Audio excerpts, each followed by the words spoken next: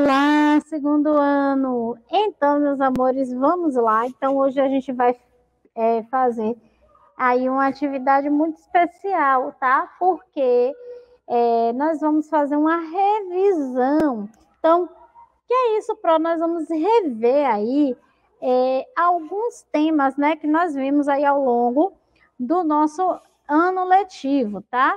Então, nós vamos é, rever aí, né, as parlendas, as adivinhas, é, os ditados populares, as cantigas de roda e os poemas. Então, nossa aula de linguagens hoje vai ser a nossa revisão, tá bom? Então, vamos lá? Então, hoje nós vamos fazer ó, a revisão do nosso percurso, tá certo? E vamos começar ó, com as adivinhas, tá? Bom, as adivinhas também são conhecidas aí como charadas ou adivinhações, certo? Então, nós podemos encontrar aí a adivinha tanto como charadas, quanto segundo ano, como aí adivinhações, certo? As adivinhas sempre vão começar com a frase o que é, o que é. Nós já falamos sobre isso lá no início do nosso ano letivo e nós vimos, segundo ano, que é, essa frase o que é, o que é, é uma pergunta. E por ser uma pergunta, ela precisa ter uma pontuação no final, que é a interrogação, certo? Então, a adivinha, retomando, ela é conhecida também como charadas ou adivinhações.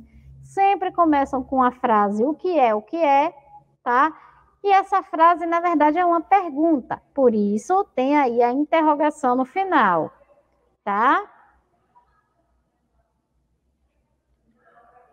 Então, vamos ver agora algumas adivinhas? O que é, o que é? Olha lá, o que é, o que é? Quanto mais eu tiro, mais eu tenho. E aí,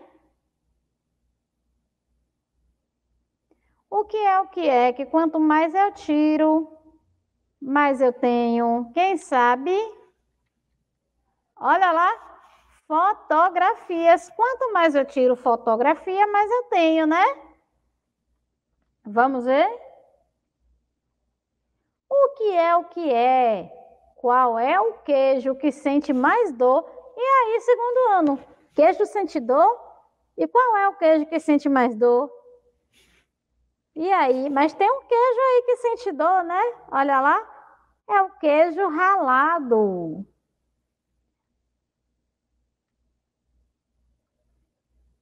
O que é o que é? Quanto mais, mais seca, mais fica molhada. E aí, o que é o que é? Que quanto mais seca, mais fica molhada. O que será? É a toalha. Muito bem. O que é o que é que a zebra disse para a mosca? E aí? O que foi que a zebra disse para a mosca? Você está na minha lista negra. Olha lá. O que é o que é que de dia fica no céu e de noite fica na água? E aí, segundo ano, o que será que de dia fica no céu e de noite fica na água? Será que o segundo ano sabe? A dentadura. Olha lá, porque de dia ela fica aí no céu da boca, né? Bom, então, nós vimos né, que as adivinhas, que foi aí é, um dos primeiros textos que nós trabalhamos lá no início do nosso ano letivo, né? São é, chamadas também de adivinhações ou charadas, são, né? Tem a pergunta o que é o que é, tem a interrogação no final, que é o sinal de pontuação que a gente usa quando vai fazer uma pergunta.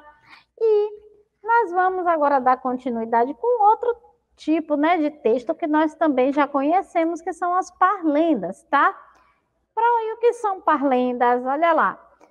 Então, as parlendas são formadas ó, por pequenos versos, são recitadas principalmente nas brincadeiras da criança, né?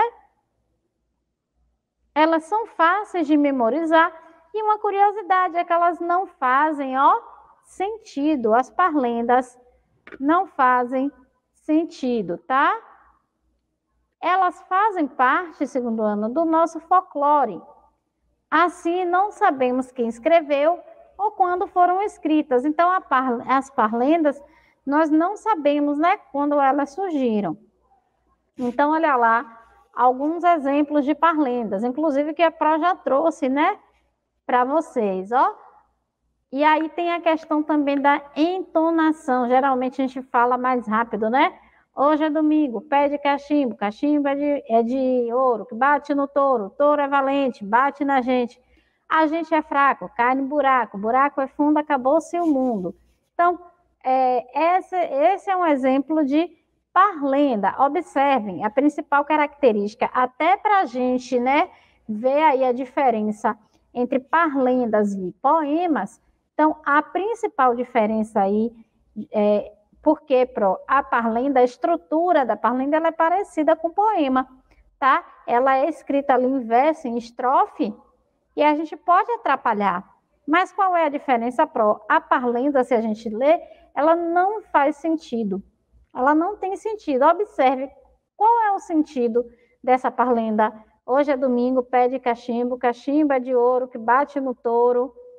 O touro é valente, bate na gente não tem sentido, ao contrário dos poemas, né, que, que tem um sentido, muitas vezes narra ali alguma história, né? Então, essa é a principal diferença, tá? Outra parlenda, batatinha quando nasce se esparrama pelo chão, mamãezinha quando dorme põe a mão no coração. Olha lá.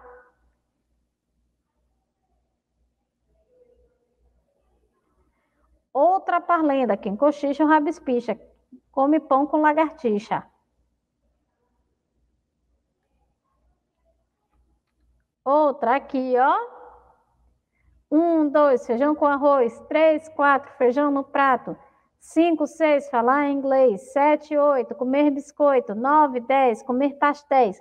Então, não tem sentido, ele não conta uma história, tá? Ele é um texto folclórico para a gente se divertir né? Até mesmo algumas são, né? É, é, lembra um pouco ali o trava-língua, um pouco difícil, né, de falar, porque a gente precisa ter uma entonação para falar mais rápido, tá? E as cantigas de roda pro? Olha lá, nas melodias, de, nas cantigas de roda, nós encontramos, ó, melodias de ritmo claro e rápido, favorece, né? Elas são fáceis de, de memorizar, tá? Tem a presença de repetições é, e muitas vezes de rimas também, né? E pode ou não conter rimas. E você lembra o que são rimas, versos e estrofes? Será que o segundo ano ainda lembra? Então, olha lá um exemplo. Essa é a cantiga de roda ciranda, cirandinha, né? Então, olha lá, é, ciranda, cirandinha, vamos todos cirandar. Vamos dar meia volta, volta e meia vamos dar. O anel que tu me destes era vidro e se quebrou. O amor que tu me tinhas era pouco e se acabou. Por isso, vem criança, vamos juntos nessa roda. Diga um verso bem bonito, diga adeus e vá embora. E aí, a gente tem aqui né, as palavras que são parecidas. Lembra que a Pro falou que rima, né? As palavras que rimam são as palavras que têm um som parecido. Então, ó, cirandar e dar, ó. Vamos todos cirandar. Vamos dar meia volta, volta e meia vamos dar. Então, olha lá o som parecido, a gente diz que é uma rima, tá? Quebrou e acabou. Ó, som parecido. Roda e embora, também o som parecido. Então, essas são as rimas, tá? As palavras destacadas de vermelho são as rimas, tá bom?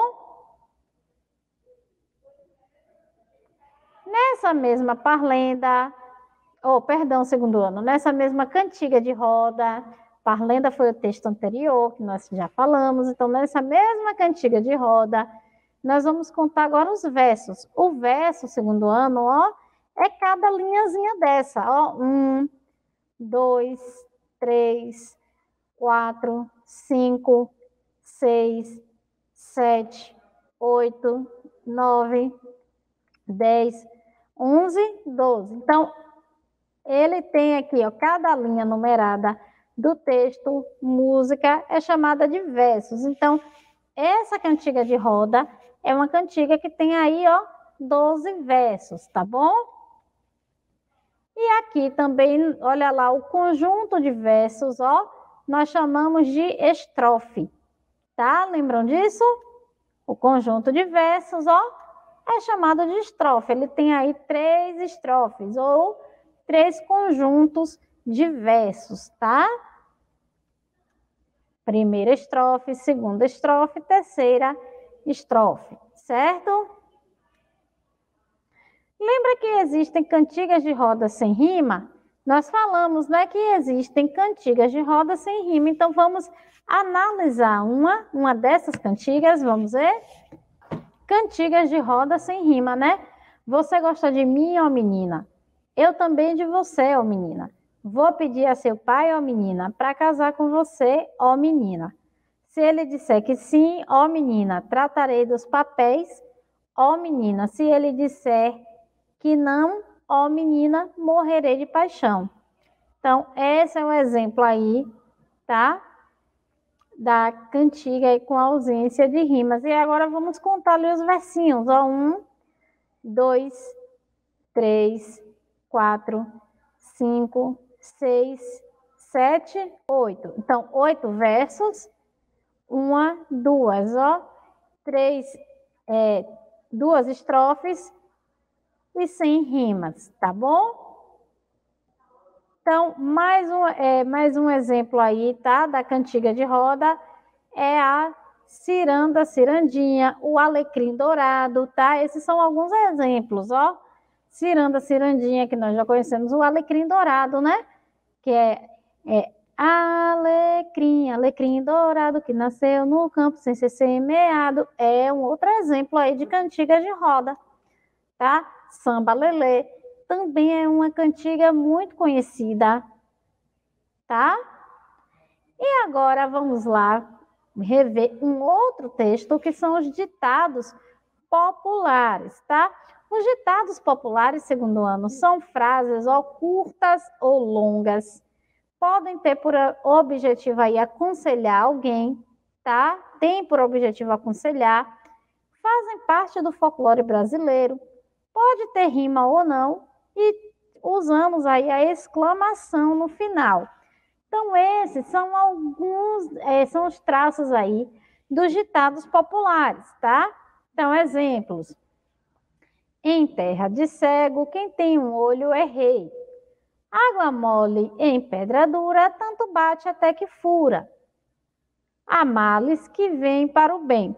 Mas, segundo ano, se a gente olhar, deixa para voltar aqui, essas, esses ditados populares, eles têm um, é, um significado, eles têm né, um ensinamento. Então, a gente não fala os ditados populares sem motivo. Ele tem um motivo que é ensinar alguma coisa, tá? Por exemplo, ó, água mole em pedra dura, tanto bate até que fura. Como, o que é que isso quer dizer, Pro?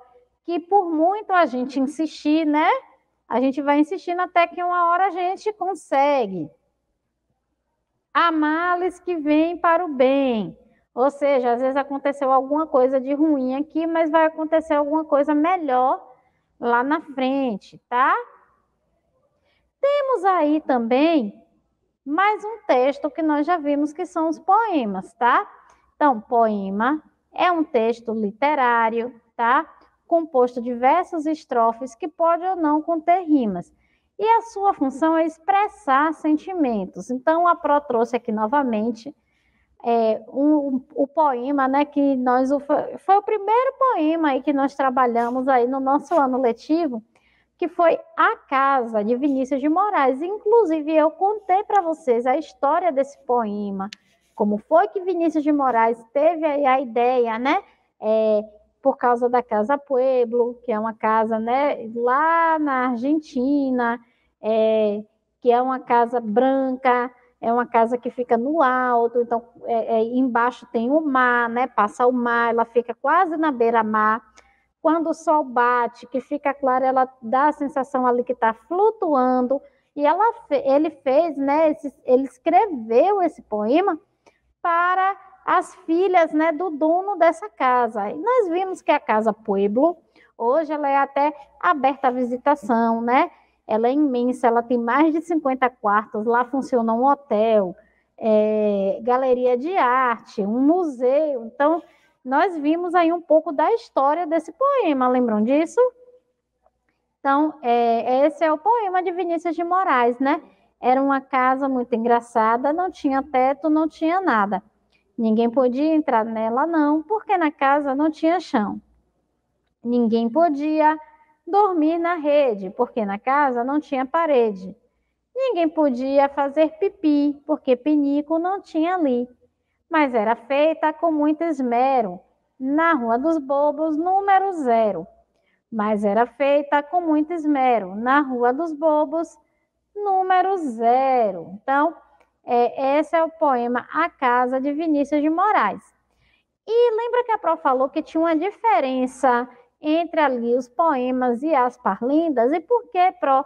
A gente vem falando aí dessa diferença, porque são textos que têm uma estrutura parecida mas ele tem algumas diferenças. Então, olha lá, nas parlendas, ó, as parlendas são textos engraçados, escritos com estrutura ali de versos, estrofes, e sua história não faz sentido.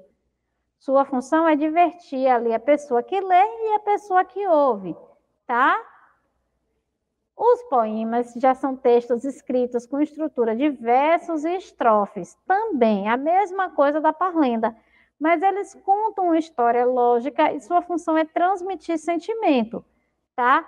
Então, aqui, por exemplo, apesar dessa casa, né, a gente fala, para essa casa não existe, a gente percebeu que na realidade, né, por muita gente fala, mas Pro, como é que diz que o poema é, ele, ele tem sentido se está falando de uma casa que não tinha parede, mas quando a gente vai procurar ali a história do poema, a gente entende que ele tinha sentido sim. Ele estava falando de uma casa que realmente existe, tá? Que ela realmente, em alguns momentos, quando a gente olha, a gente pensa que ela não tem parede, a gente pensa que ela não tem teto, a gente pensa que ela está flutuando.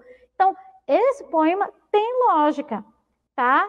É, e ele também tem essa função de transmitir sentimentos. Então, a gente acha aquilo ali engraçado, tá? Então, vamos praticar agora o que revisamos? O que é o que é, tá? Então, a gente vai começar com as adivinhas. O que é o que é? Cai em pé e corre deitado. O que será? É a chuva. O que é o que é? Que fica cheio durante o dia e vazio durante a noite. O que será, segundo ano? Que fica cheio durante o dia e vazio durante a noite.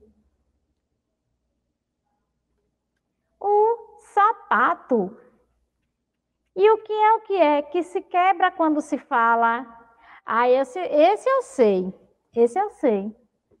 Será que o segundo ano sabe o que é que se quebra quando se fala? Será que a Pro acertou? Será que é o silêncio? Ah, não era, era o segredo. Ih, a Pro toda convencida que sabia. Tá vendo, segundo ano? Vocês acertaram e eu não. É o segredo. Mas não poderia ser o silêncio também, não, segundo ano? Se tiver em silêncio e a gente falar, não quebra o silêncio, não? Ah, muito bem. Então vamos continuar. Pinte a característica principal das adivinhas, tá? Então a gente agora vai falar das adivinhas. As adivinhas têm ritmo e melodia, ou as adivinhas começam aí com a pergunta: o que é, o que é?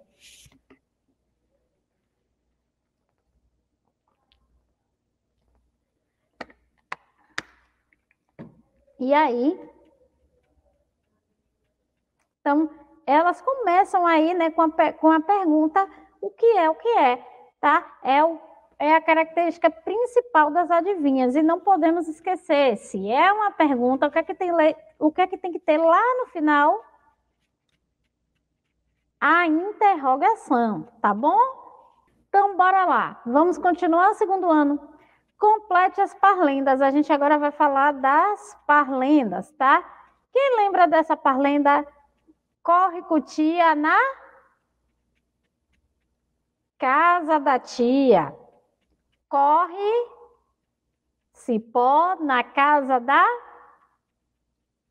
vó. Lencinho na mão, caiu no caiu no chão. Olha lá, moço bonito do meu coração. Quem lembra dessa parlenda que nós trabalhamos, corre cutia, tá? Então, observaram aí, essa é uma parlenda que tem várias rimas, né? É, ou sons parecidos. Então, cipó rimando com vó, chão rimando com coração, e olha lá o coração aparecendo.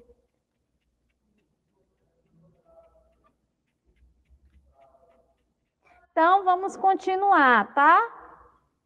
Vamos continuar com mais uma parlenda agora. Então, a gente vai vir com a o quê da vovó. Quem lembra dessa parlenda? A casinha. Então, olha lá, a casinha da vovó rodeada de cipó. O, o que é que está demorando? Quem lembra o café? O café está demorando, com certeza não tem pó. Nós também já trabalhamos essa parlenda lá no, no início né, do nosso ano letivo, tá bom? Ordene as frases e descubra a parlenda. E agora, Pro? Olha lá, não sabia o que comprar, comprou uma cadeira, a cadeira espatifou, foi parar no corredor, o macaco foi à feira, coitada da comadre, a comadre sentou, para a comadre se sentar. E aí, como é que começa? Qual é a primeira frase aí? Olha lá, o macaco foi à feira, tá? E aí, depois, não sabia o que comprar, tá? E aí, o macaco foi à feira, não sabia o que comprar. Comprou uma cadeira para quem para a comadre se sentar. E aí, depois que ela sentou, olha lá, a comadre se sentou e depois a cadeira espatifou. E aí, a coitada, coitada da comadre, foi parar no corredor. Então, essa também foi outra, né, Parlenda, aí que a gente é, trabalhou no nosso, é, durante o nosso ano letivo, tá? Dê o nome dos elementos destacados das cantigas abaixo. Borboletinha está na cozinha fazendo chocolate para a madrinha. Então, o que é que nós temos aí da cantiga, gente? Olha lá. Ó, destacado. Nós temos duas palavras em destaque: cozinha e madrinha. Então, ó, cozinha e madrinha são palavras que têm sons, ó, parecidos, são as rimas, tá? A gente também poderia colocar aqui borboletinha. Na verdade, a palavra borboletinha, as palavras, né, borboletinha, cozinha e madrinha, elas têm rimas, sons parecidos, tá? Que é, todas terminam com nha, né? Nós já vimos aí também a formação do diminutivo. O sapo não lava o pé. Não lava porque não quer. Ele mora lá na lagoa, não lava o pé porque não quer. Mas que chulé! Então, essa é uma outra, parlenda aí, que trabalhamos durante os nossos anos letivos, durante o nosso ano letivo. É, está sublinhada aí, segundo ano, né? É, os versos, né, estão sublinhados aí. Então, esses são os versos aí da nossa parlenda, tá? Lembrando que versos, a gente chama de verso cada linha da parlenda, certo? E agora, que é que está em destaque aí? Sumiram ali as linhas e apareceram, ó, o, e apareceu essa caixa em volta. E aí, esse conjunto de versos nós chamamos de estrofes. Muito bem. Que tipo de texto é esse aqui, segundo ano? Quem avisa, amigo é. Não faça com os outros o que não queres que façam com você. Que tipo de texto é esse aqui? É um ditado popular, né? Esses textos, esses textos aqui são ditados populares, tá? Vamos procurar agora a rima, né? As rimas aqui no poema A Flor Amarela, tá? De Cecília Meirelles. Olha a janela da bela Arabella. Que flor é aquela que Arabella molha? É uma flor amarela.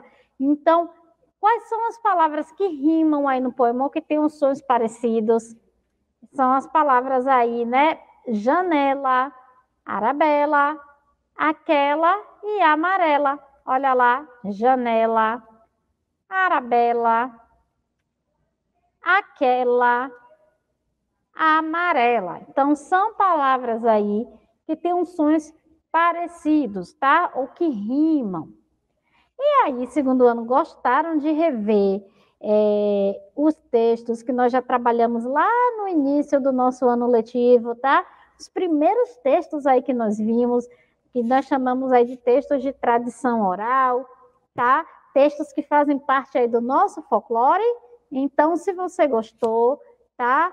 É, já sabe, é, comenta aqui qual é o texto, inclusive, que você mais gosta, né? Desses que, desse que nós acabamos de ver. E se ficou alguma dúvida sobre essa aula, corre lá no nosso canal no YouTube. Você já sabe que todas as nossas aulas do ano letivo ficam salvas lá para você assistir quando quiser, quando tiver necessidade, quando sentir uma dificuldade, tiver uma dúvida, tá bom? Então, ou você também pode tirar essas dúvidas na escola, perguntando aí ao seu professor, trocando ideias com os coleguinhas, certo? Beijo, segundo ano, e até a próxima aula. Tchau, tchau.